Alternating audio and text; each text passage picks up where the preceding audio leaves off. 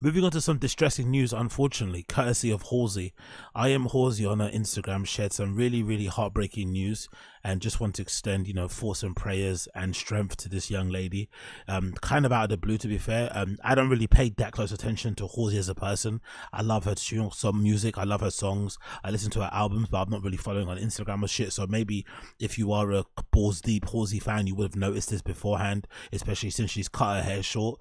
But Halsey has just revealed that she's suffering from i think she's always suffered from lupus but she's also suffering from leukemia a form of cancer unfortunately and um, she's going through treatment now at the moment and i guess she has been for a while now and it's super heartbreaking because she also announces um, the release of a new album that's due to come out and unfortunately the album also has a bit of an eerie title i think the album cover is here on the screen it's called the end and she put this out just the other day actually it says i'm releasing the first song off my fifth album tomorrow on 604 9 a.m a.m. Before the first single comes, I wanted to share this. It means a lot to me. I love it. Let's try something different this time and start at the end. So this is the album cover. Um, it's a really cool collage. It features a spirally question mark and a heart at the bottom, um, where the dot's meant to be with her face superimposed in it, and then it says the end un film por vida or something. Goop. I don't know what that says here. I can't really see it properly. And then it showcases an illustration that might be of Halsey kind of, you know, um, kind of diving backwards and stuff. And obviously with the Columbia record at the bottom. So this was kind of eerie anyway, right? The title. And now we we know why she released this title and she put this out because unfortunately she is suffering from lupus and leukemia. So I'm going to play the clip here as well where she kind of details her struggles and what she's been going through. Seriously. Seriously. Ah. ah. I like an old lady. I told myself I'm giving myself two more years to be sick. In 30, I'm having my.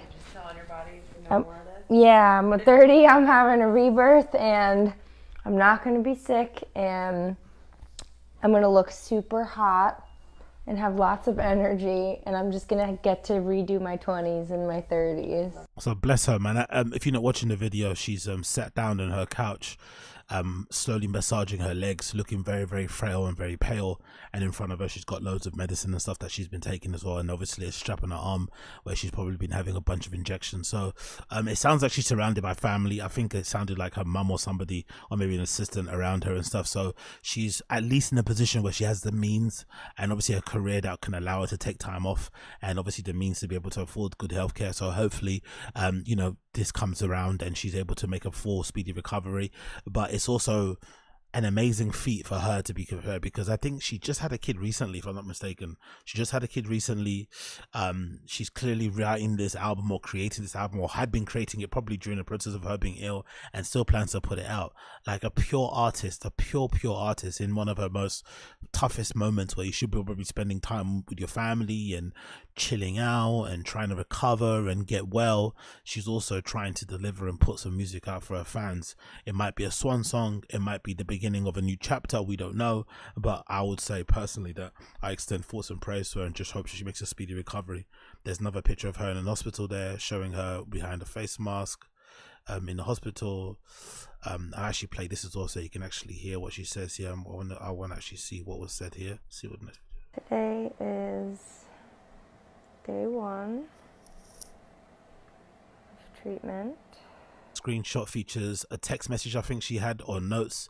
It says the end of the fucking world. I think she read.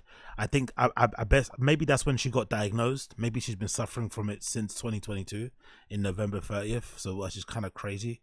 There's a picture of her um recording some music with her head shaved in the studio, and then another picture of her um superimpose um clips of her going through treatment and in the hospital in and out the whole time. So she's been privately battling this whole thing this whole entire time, not really telling anybody what's going on. And clearly now she's updated her fans to let them know that hey, if you've been wondering why, because she's definitely looked different. I think as a fan, just from the outside in, who doesn't really follow on social, whenever I see her pop up on my timeline, I did notice that she did look a lot skinnier than she's looked before in the past. But I just assume she's just you know doing what everyone else does and just trying to get skinny and hot.